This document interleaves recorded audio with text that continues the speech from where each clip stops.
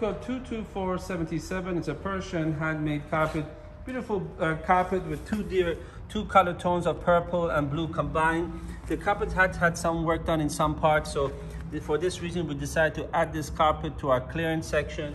Again, a very beautiful carpet, but due to these uh, different issues in the carpet, we decided to put a big discount on it. So please keep that in mind when considering this carpet. And if you have any further questions, we'd be happy to assist you.